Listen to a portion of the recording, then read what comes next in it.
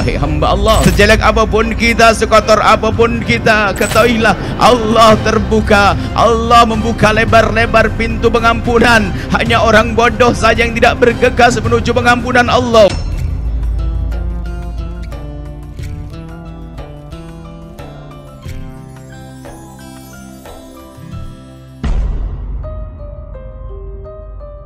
Tahun baru hijriah kita akan hijrah memandang anak kita. Jangan dolim kepada anak agar anda hanya akan anda jadikan mesin uang. Tapi jadikan anak anda mesin pahala. Wahai hamba Allah sadari makna ini. Jangan hanya berfikir menjadikan anak anda mesin uang.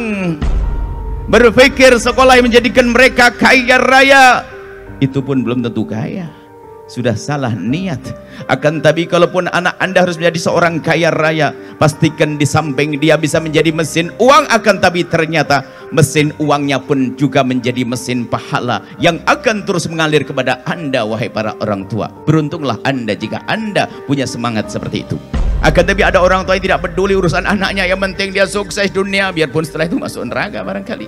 Tidak pernah berpikir anaknya solat atau tidak bergaul dengan siapa dekat dengan ulama siapa. Berapa lembar Al-Quran yang dibaca dalam setiap hari setiap tahajud solatnya bagaimana jika ada yang hadir di tempat ini punya masalah dengan anaknya, anda tidak perlu putus asa. Masih ada kesempatan esok hari. Yang penting malam ini, hari ini kita sadar. Sejelek apapun anda, Tuhanmu maha pengampun, maha luas pengampunannya.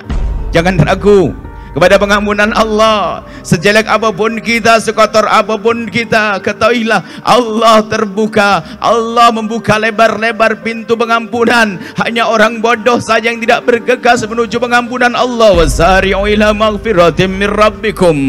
Bergegaslah hai ahli surga untuk menuju pengampunan, Allah. Wa jannatin arduhas samawati wal ardu. Dan surga pengampunan untuk mendapatkan surga yang luasnya luar biasa Bergegaslah wahai hamba Allah.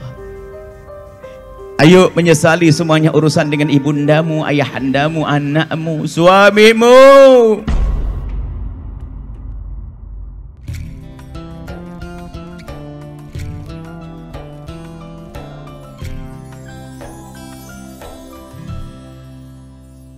Sahabat Albaja TV, setelah menyaksikan video ini, jangan lupa bersolawat kepada baginda Nabi Muhammad. Sallu ala Nabi Muhammad. Allahumma salli alaihi wa ala alihi wa